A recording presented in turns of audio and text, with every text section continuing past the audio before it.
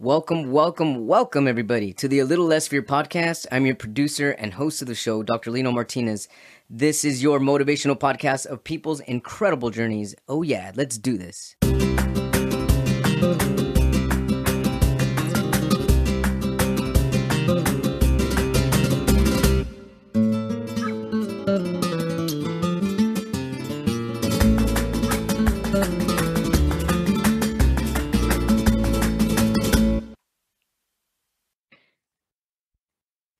Welcome back, everybody, to the Little Less Fear podcast. Today, I would like to introduce Dennis Timpanaro. Did I say that correct? You got it, Dr. Lino. Thanks. Uh, awesome. He is the co founder of Gotivation, motivation training speaker on health and fitness motivation. If you're ready for a healthy change for real this time, join him at Gotivation. He's a he's a motivation training pro. Actually, he has a motivation training program that helps you get and stay motivated to reach your health goals. I love anything motivation, especially with the word gotivation, and I'm ready to go there. So, welcome to a little less fear podcast. Thanks for having me, Dr. Lino. Love the energy in the start. I know we were talking a little bit earlier, but uh, uh, it is funny, right? That motivation, that energy is contagious. So let's see if we can get some people excited today. It really is contagious, you know, and it's it's like uh, whenever I feel motivated, and then somebody starts feeling motivated with me, it's like it keeps climbing and climbing and climbing, yes. and it reaches this peak where we could just both hold it together and just flow together, and that's where all the goodness starts coming, all the positiveness, all the energy, and creative flow and harmony. Well, that's the most beautiful thing about motivation; it creates harmony. Absolutely. We probably won't get into all the nerdy stuff, but there is actually there's a subset of people too that are particularly motivated by by groups, right? So there's a little bit of uh, like social contagion there. And if there's energy in that group, there's motivation, there's accountability. They're very driven by that. So if that's sounds like that's you, um, and if anyone listening is in that same bucket, find that find that group, seek that out. It'll help. That's so true. You know what? because I've been in groups where if I'm the only motivated one feeling pumped and the whole energy is low around me, I start yeah. to feel low. Yeah. And I start to close off. I'm like, okay, well, well what am I doing then? it's, not, it's the temperature of the room. Exactly. So, hey, Dennis, tell us about your journey. What brought you to motivation? What brought you to gotivation? Uh, I will give you the abridged version because I'm sure nobody wants to hear about me for uh, for 55 minutes straight. it's not very exciting. But uh, growing up, I had always been interested in the Olympics. I, I, remember playing, you know, old like computer games and stuff. I'm like, oh, this is fun. You know, this big stadium, the Olympics are here. And uh, candidly, I was a, uh, a, above average athlete, but not good by any means, right? Not like a standout. Didn't play college sports or anything. So like, I just worked hard. I was overachieving, but not naturally gifted. And I remember uh, it was about maybe eight years into my corporate career, right? I was doing the same old boring corporate stuff. And I just said, what am I doing for myself right now? How right? I know what I'm doing for my career. I know what I'm doing for my money, but what am I doing for me right now? And how old were you when you started questioning that? Th- this was late 20s. So this was, uh, yeah, late 20s. So really quarter life crisis. I don't know what you want to call it.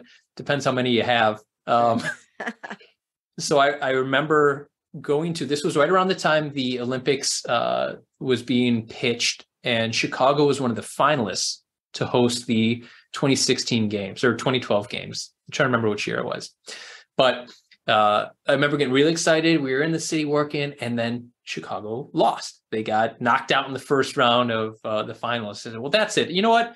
This is this is my time. I'm going to try to do something. I'm going to go to the Olympics." And people are laughing and like, "Oh, what are you going to go to the Olympics in? Right? You're just you don't have any sport you're playing right now. And I said, well, I'll figure it out. And I did the least emotional, rational approach you could and and look through all the different sports that existed, what I could be good at, what I could do individually, what I had the budget for, what I could do for a long time. And archery came to the top of that list. Oh, I love And everybody archery. laughed. have you played archery? Have you shot archery before? You know, just for fun, but not, yeah. I mean, nothing, nothing professionally it's uh, it's so first of all it's a very fun sport. If you're listening you haven't tried it uh pick yeah, up a bowl there's lots of little clubs they're always willing to bring you in. I never shot any firearms or uh or archery. I had i had nothing like that growing up. I wasn't allowed to touch anything that could murder my brothers. So so i picked archery. I i got lessons. I worked hard. I remember even like bringing my bow on the train to work at times and getting weird looks. And you know, long story short, I actually got decent at it, Dr. Lino. Like I got good coaching. I practiced really hard and I became world ranked. I became US ranked. Wow. And yeah, it was it was wild. Uh, I'm certainly not great at it, but again, made it uh, further than I thought I could. And I went to the Olympic trials the first time. Was super excited. I was shooting really well in practice. I figured, hey, this is my shot. I can maybe make the first cut and keep going. And I sucked. and I sucked. I was nervous. I was tense. I didn't shoot freely. Um, I did all the, the things you do when it's your first time competing in very, very high pressure at that level. I remember coming home and being really depressed and sad. Um, essentially going from practicing 20 hours a week to I didn't want to like even get out of bed. And then the weirdest thing happened. Uh, an Under Armour commercial. I'm not sponsored, okay? So don't get funny ideas. But an Under Armour commercial pops on. It's Michael Phelps. And if you remember at the time, Michael Phelps was one of the greatest swimmers of all time. Oh, yeah. And just gotten into a little bit of trouble. Uh, he was enjoying some weed and having a good time. I being, remember. You know, yeah. Yeah. Just living life, right? Right. And everyone's like, oh boy, what a terrible role model this guy is. And, uh, and it's funny to even look back on it at this point. So the commercial was all about him coming back working hard, waking up early, you know, trying to to silence the pundits and the critics. And it was just this like this bolt through me. And I got up the next day at 5 a.m. Again, remember, I'd been cut at this point. There was nothing to work for. It's the middle of winter at this point. I haven't been practicing. I got up at 5 a.m. to go practice in my cold garage for an hour before work because I was so excited. And I said, What?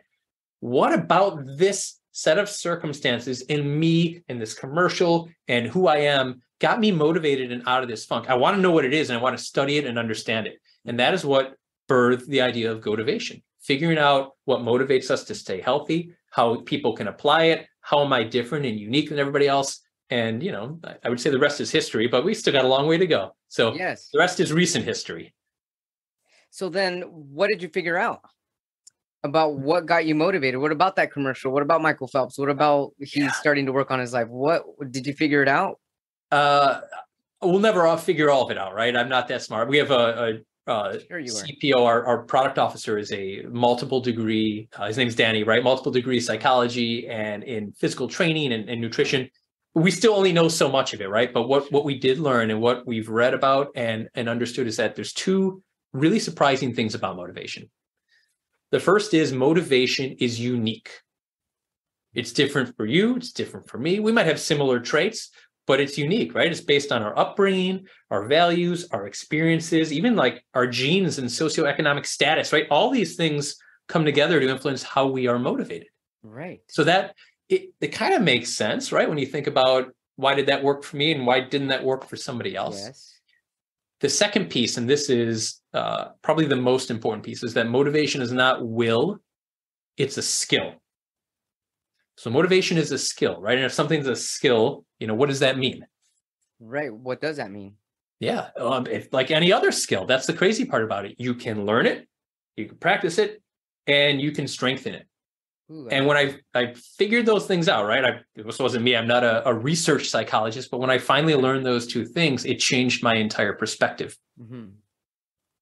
And so, and going back to that motivation that you felt after seeing Michael Phelps back back in the ring, if you could say like that, back in the ring of fire. Yeah. Um. Yeah. What I'm based on what you're telling me, what motivation is. So then you decided you that you had this skill at that moment and that you or you wanted to learn that skill and therefore you started practicing it and strengthening it yeah but what still what got you to feel emotionally and mentally ready to get up at 5 a.m i'm not really seeing the tie here. Yeah.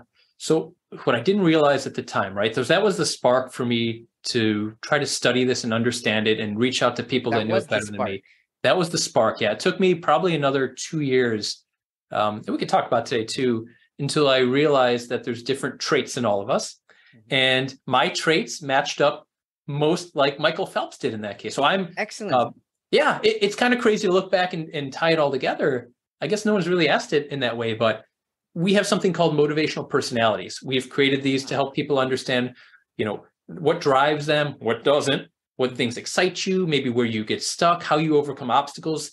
what happens when you're dealing with you know hardship or in good times and my motivational personality is called a partial perfectionist okay. that means work hard play hard right so i may go really hard monday to friday in the gym or train for archery and then have a bunch of drinks all weekend and not think about it or i could be on for three months of training and then super low key for the summer but I know I'll get back to it and I'm driven by getting back to it, right? It's that balance of I'm on and then I'm off so I can live. Um, and that commercial was a comeback. The whole thing was a comeback. He was off for a while, enjoying life. And he's like, you know what? I'm going to take all my energy. I'm going to come back and I'm going to work towards it. And I'm going to be driven and motivated by it. So I'm, I'm actually kind of fascinated you brought that up. I hadn't really connected all the dots, uh, you know, until just recently on that, the last couple of years. Excellent. Yeah. You know what? When you're telling me this, I'm starting to feel into into this incredible story that you had when you finally had the spark, and I'm feeling that you subconsciously were aware somehow in the back of your head that you had similar personality traits to Michael Phelps, and you felt this connection, and it just Maybe. kind of brought you back to life and said, "Hey, man, he's doing it. I, that I've got that in me too." The subconscious is always a step ahead, right? So it it, exactly. it might have been it might have known already yeah. So you definitely related with him and he pumped you up, which is what yeah. we're all here to do collectively exactly. as a human race motivate each other. Motivate each other, be kind to each other. Yeah. Help each other out. So what happened after that? What happened after you finally got motivated to get up at five in the morning and start going back to archery again? What happened after that? Yeah. So as the the story goes, um, again, I continued to shoot archery. I, I, haven't shot competitively in about the last year. I've I've put it down a little bit to deal with. I've got I've got two kids. I've got two jobs. Uh, it's been a lot, right? Yeah, and the travel and the competition and the other aspects of it were just.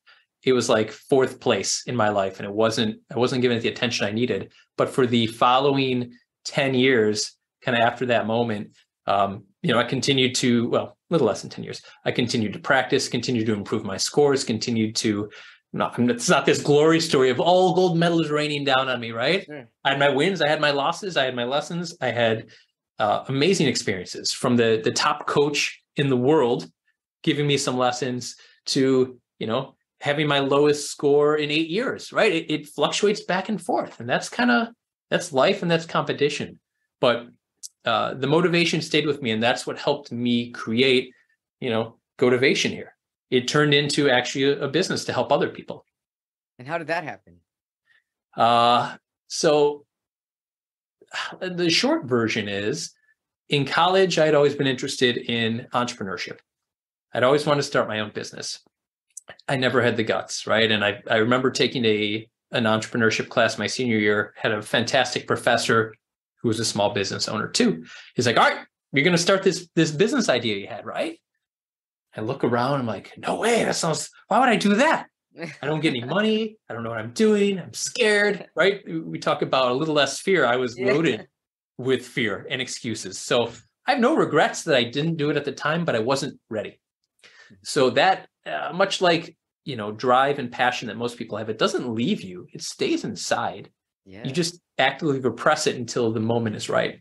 And the moment was right when I had an opportunity to leave a very nice job. Um, I worked at McDonald's for a number of years, you know, corporate stuff, had a great team, good friends, and there was an opportunity to leave.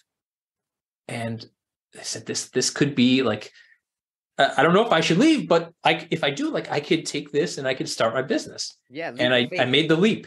I actually conquered my fear for a minute there and made the leap to start Gotivation. So I left a high paying, you know, six figure job with a family at the time, um, with, you know, a completely different career, completely different industry with no connections and jumped out to start this business. And that and is so, how Gotivation started. Oh man, that's a, that's an incredible leap of faith to le- be leaving a good job like that and having a family and everything. What was your vision at the time for Gotivation and who came up with that title or the the actual name Gotivation? Yeah, uh, so that was me, right? It's not a I'm not a marketing person. That's why I have Kim as our, our chief marketing officer. But you know, I just changed the M into a G because I wanted to get people going. I wanted to yeah. encourage people to get going, whether it was health, whether it was nutrition, whether it's just having a positive mindset. Yes. Um, so that's where the business started.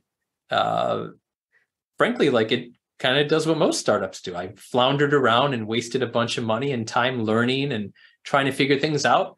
And uh, invariably, the first iteration of that that vision failed. I ran out of money, I ran out of time, and I ended up having to go back to work.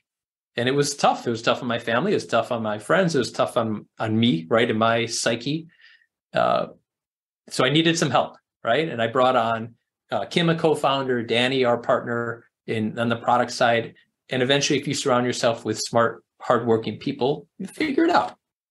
Yeah, absolutely. And also the fact that you you you were open to receiving help and that's actually motivating in itself too. Rather than closing up and saying, you know, I'm done.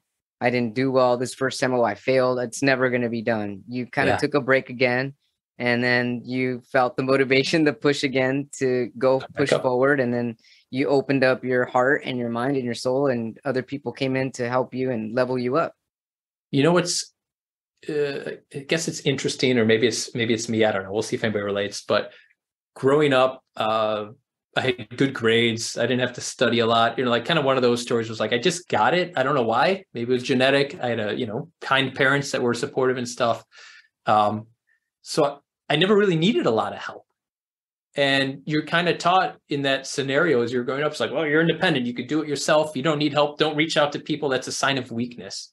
Yeah. And it took me a very long time, um, you know, later into my career and in college and things. I'm like, whoa, wait a minute. Maybe I'm not that good, right? I do need people to help me out here. Your natural talent runs out. It has a limit at a certain point. And I think in the entrepreneurial world, especially, but in archery, in health, in wellness, in mental health, getting help is key. You will not get, get very far trying to do it on your own. And the sooner I was able to accept that and get help, connect with people and learn, um, the, the farther I've gone. Yeah, and the beautiful thing about that, when you open up like that, you're also helping them. It's like everyone starts helping each other. Everyone's holding hands together, and the connection just keeps growing and growing and growing. And that's the beautiful thing about allowing help in. I look at what you do with this podcast and your writings and the story that you share, right? And um, maybe you don't see it this way, but you're helping a lot of people. And the feeling of helping others is one of the most satisfying uh, things you can do in your life. It really is. More than anything else. It really is because it's selfless and it comes from a place of purity. It comes from honesty, integrity, and love. And nothing is more expansive than that. That's it. That's it. I remember uh, again, I've I've had a been very fortunate in my corporate career. My you know uh, I know a lot of people are struggling, so I, will never look down on it. I'll never say it was a bad choice. I'm happy. I'm, I'm grateful for it. But I remember the first time I got a true compliment at Gotivation. So we were working with this woman. Um, she'd just given birth. She, you know, I don't know if it was postpartum or not, but she'd just given birth. She was really down. She wanted to get, she wanted to feel like herself again. She'd been stuck for a long time, and she used to be an athlete, great shape, and she just wasn't feeling like herself. And we finished the first course with her. It was a 30 day program. And I remember her sending me a note just saying, you know, this, this like made me happier than anything I've done the last 30 days. Has helped change my life, get me back on track. And, you know, maybe she was just a little overly exuberant at that point because that seems strong to me. Um, but I've never felt more satisfaction in anything I've done until I had received that compliment. Nothing at my other jobs ever lived up to that one little nice remark. So, um, helping other people, even if you don't get that feedback, it just it goes such a long way for your own well being. It really does. And you know, right now, as you said that you you're not really too sure because of how strong maybe the emotion was, but yeah. I, I feel that it was sincere, and that's why it motivated you so much, and that's why you felt so good, and that's why you still remember it to this day. I and think it's, so. It's things like that that just keep pumping you up to keep going, keep going, and keep going. Big time. So tell us about the Gotivation program. How does it work? Yeah. Let's say, let's say I go to you and I'm like, hey, you know, I'm a former disabled person and I've got some disabilities. I'm not sure I can ever, you know, have the body of my dreams. I'm feeling a lack of motivation. Uh, I work out really hard and I'm seeing little results, but I'm here to, I'm coming to you because I need this motivation to pump me up and know that I can have that dream body. Yeah. Um, we are all about the mental side. So when you think about health and wellness, and this is uh, grossly generalized, but when you think about health and wellness, mm-hmm. usually it's about 80% diet, nutrition, right? What are you putting in your body? How are you taking care of your body?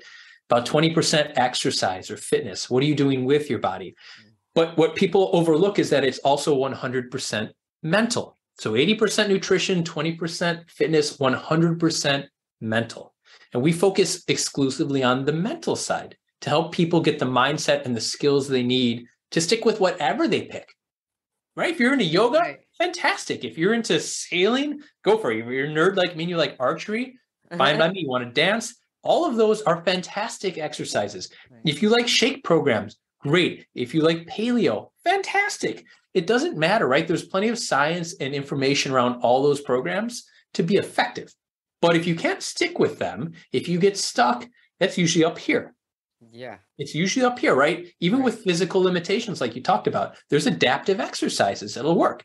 Yes. So, what we focus on again is entirely the mental piece of it. So, we help people understand starting, uh, the starting point is always our motivational personality quiz. Oh, wow. And that's what we talked about earlier about that uniqueness piece. So, everybody's unique. Yes. And until you can figure out how you are uniquely motivated, you really can't unlock the right way to stay motivated with whatever activity you're you're interested in, right? True. So start with the quiz. What's on that quiz? Yeah, the quiz is uh, about 30 questions. It takes, I don't know, depends how much you overthink it. if you're an overthinker like me, uh, it'll take you 10 minutes. If you just go through it and, and try not to, you know, critique your entire life, probably about three minutes. Um, but they are psychology based questions that help us figure out your traits. And the outcome of that quiz is your motivational personality. Ooh, I love it. Yeah, there's four types. Um, I know I shared one of them earlier. That's me, right? So I'm a partial perfectionist. That's one type of motivational personality. Uh, partial perfectionists just think about work hard, play hard. You might be on for a while and then go take a break. You might eat really clean all day and then finish the night with a sleeve of Girl Scout cookies. And that's totally cool because that's how you operate and you know you'll get back to it. But right. if someone tries to say, no, you know, Dr. Lino, you can't have dessert. You're gonna be like, whoa, whoa, whoa. Like that's that's who I am. Like that's part of who I am. That's right. how I would that's how I balance all this hard work. Yeah. Uh and not very motivational situation. So uh that's partial perfectionist. Next up is disciplined doer. They are very motivated sorry, disciplined by what? Uh, disciplined doer. Oh, disciplined doer. Okay. Yeah. Yeah, these I mean you could tell I made up all these terrible names. Uh just not a not a marketing guy. but uh so disciplined doer is driven by schedules. By detail, right? By planning, by processes and progress. Um, they want to follow a plan. And they want to detail that plan and they want to have a schedule of what they're eating in the morning and when they're going to their yoga class and how they're recovering. Um, they love they love and are driven by that. They like that structure. Very conscientious people. Okay. Uh where so are we at? Number three? doer. Yeah number three is the self-controlled spectator not just a clever name so a self-controlled spectator has a inordinate amount of motivation based on their control. They like to oh. make decisions that drives them, right? I want to be in control. I want to think through the outcomes. I want to think through the long term and the short term and then come back together and make a decision. Sometimes it's yes, that's going to be a healthy decision for me. Sometimes it's no, I don't want to do that. Uh, mm-hmm. but that self control is what drives them. They want to be in the driver's seat. Uh, and last, certainly not least, is the laid back learner. Okay. The laid back learner. Laid back learner is kind of, I don't want to say the opposite of disciplined doer, but if disciplined doer is schedules and blood, sweat, and tears and give me all the details, they're like, I want to enjoy this. Mm-hmm. I want some variety. I want it to be fun. I want to remember it when I'm done, not pass out on the floor. Right. I want to try different foods and experiment. I want to learn and take in a whole bunch of information and consume it. Um, it's not worth doing if it's not enjoyable in their perspectives. Right. So those are the four. Um, so basically, it's not worth it unless it's enjoyable for the laid back learner. Yeah, it's got to be. Uh, they, again, they thrive on kind of variety and enjoyment. Uh, not necessarily always the social aspect, but that does come into play quite a bit with laid back learners, right? Doing group activities, being with other people, and it, having fun. Uh-huh. Yeah. Can we ask you a question about the self control spectator? Yeah.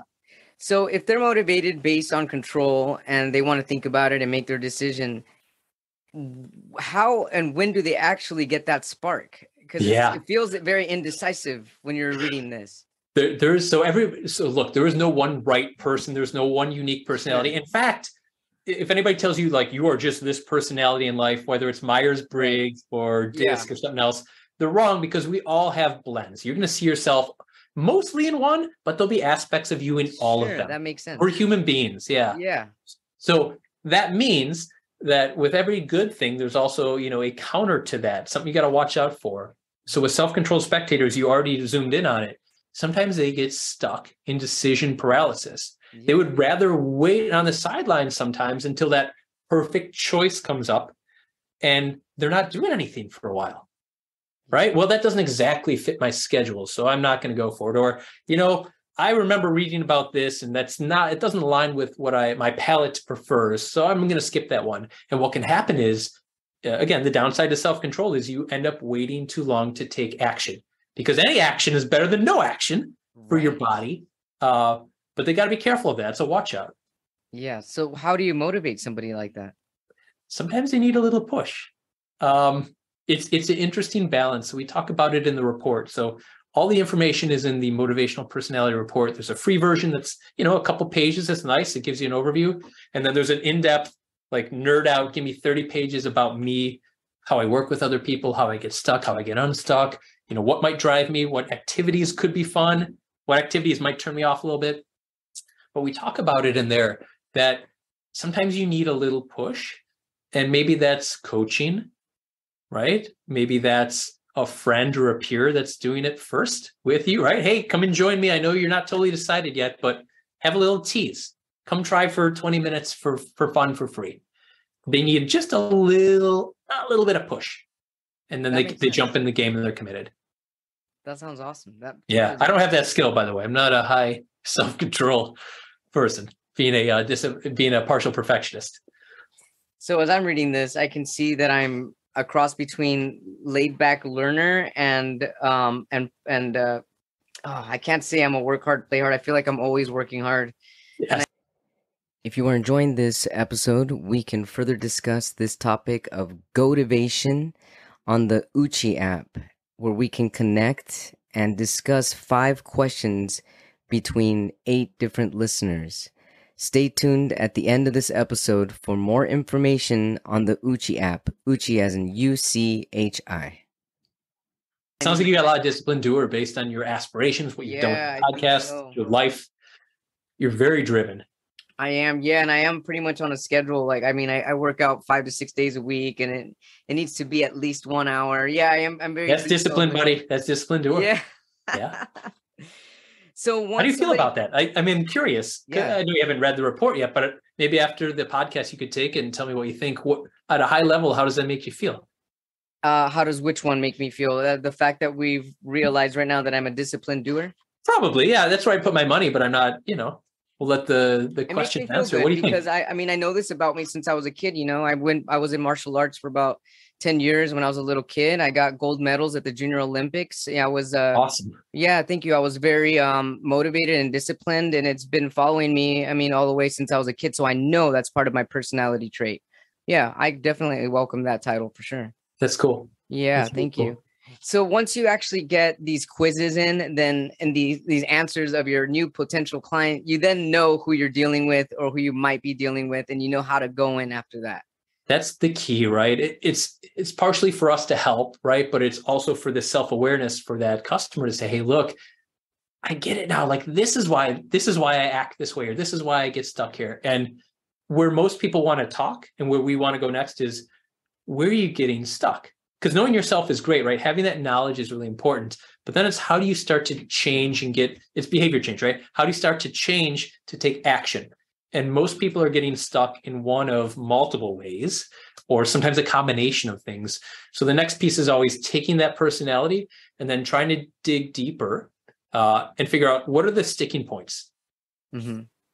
And when you're trying to figure out the sticking points, is this based on results or is it based on them communicating to you or observation? Yeah. So the way we've done it in the past is through a course. What we're about to launch in the next couple months is actually a it's still a course, but it also has one-on-one coaching too. Group coaching is going to help them say, all right, you're trying to diagnose. This is tough, right? We're not. We're, I'm not a psychologist, um, and we're not doctors, but we're helping them to come to the answer. So there's a couple of places where people usually get stuck. confidence is a big one. Importance is a big one, right? So the called the uh, the prioritization, uh, right? Is it a high priority in your life, or is it something that sounds good but it's lower? Confidence is, do I think I can do this, or, or am I am I scared? Like, is is this something I don't think I can pull off? Those are two big ones. You have all the other socioeconomic and internal factors. Do you have a bad job? Right? Is a bad job burning you out? Is there stress in your family or relationships? Right?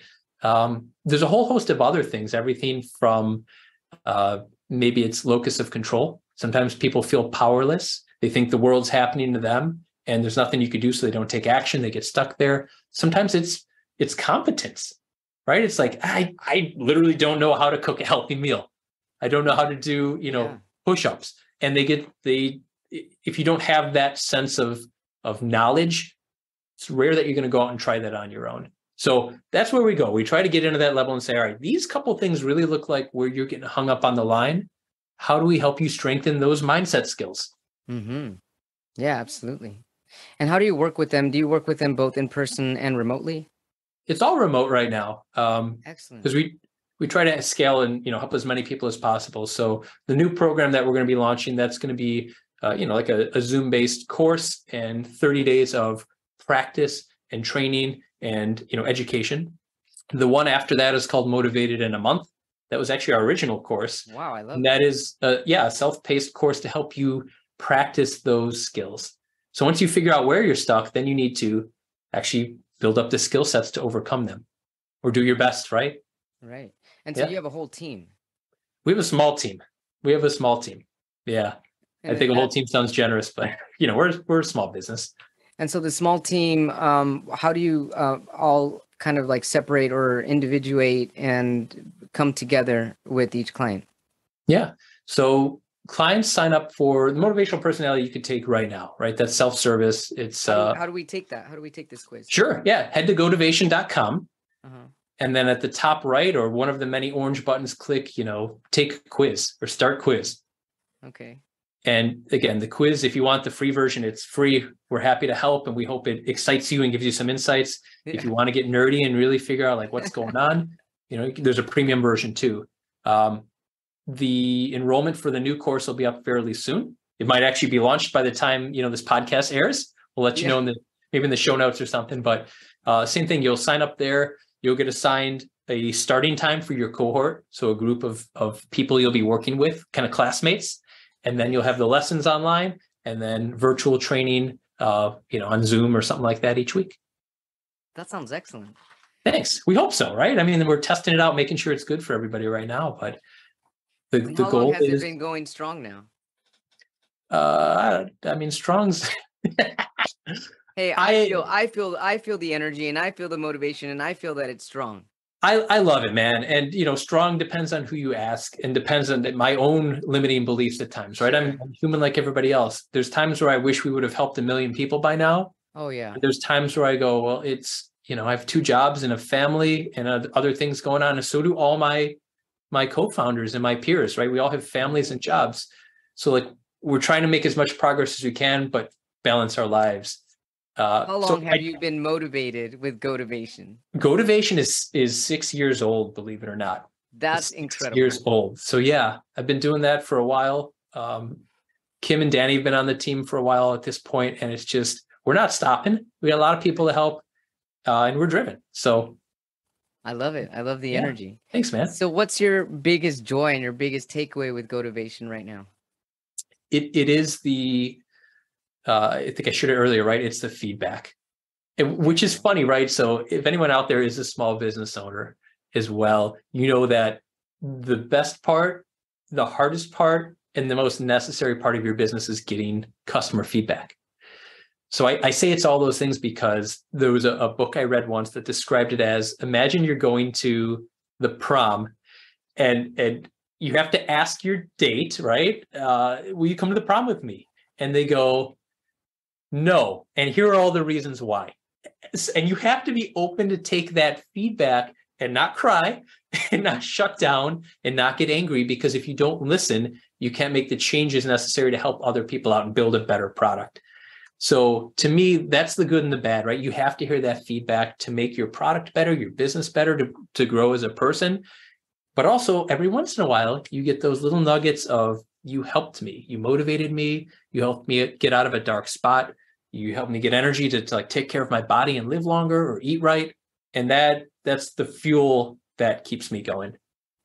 That's well, I got to tell you, Dennis, that you've motivated me. And even though I'm already self motivated, these all you seem pretty seeds. motivated, man. You've got it down. These seeds help. You know, these yeah. people that you meet, these these connections, they keep pumping me up. They pump you up. They pump listeners up, and this yeah. is what it's all about. I'm very grateful to have connected with you and to have had you on a Little Less Fear podcast. Um, how can our viewers, our watchers, and our listeners find you and Gotivation? Yeah, you can find Gotivation at gotivation.com. Uh, I'm also on mostly Instagram, uh, you know, uh, Dennis underscore Timpanaro. You can find us out there. So, Dr. Lino, thank you for the opportunity to share not just the story, right, but help maybe provide a few few nuggets uh, and some motivation for everybody. I love what you're doing. Keep it up. I love what you're doing. Thank you so much, and you keep it up. We're gonna keep it up. We're gonna, we're gonna keep it that up. vibration and keep going together. with Gotivation. I'm feeling excellent. You have an excellent weekend. Thank you so much for being on a Little Less Fear podcast. Thanks, Dr. Lino. Thank you for listening to a Little Less Fear podcast. As a special free bonus, I've partnered with the Uchi app, spelled U C H I, for eight listeners, first come, first serve, to join me in deeper conversation using a private Uchi tribe specific to this episode. Those listeners not randomly selected will receive a free complimentary Uchi tribe to use as they desire. Uchi is a free social app that guides private conversations using a question and answer format. I've come up with a handful of questions about today's episode, and we'd like a small group of our listeners to share their perspectives with each other, and I'll share mine too. Together, we'll discuss our answers and comments over the next one to two weeks. Register for the drawing using the link in the show notes, and be sure to include the episode's code. The drawing will be held after the episode is live. So sign up soon, and we'll see you in the episode's Uchi Tribe. Thank you, thank you, thank you all so much for all the listeners, the viewers, the watchers, and the subscribers. If you have not yet subscribed, go ahead and do so. And please share the story, share this journey, share this podcast with your friends and your family.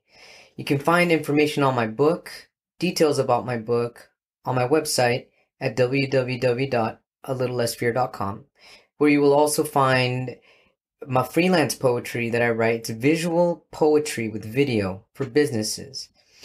And for social marketing, if you are interested, please send me an email at a little less fear at gmail.com.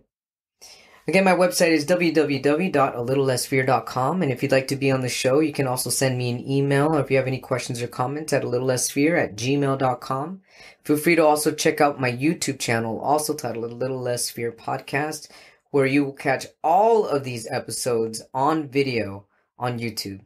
Thank you all so much. I love you. Thanks for your support. Take care and keep shining on. Rock on. I love you.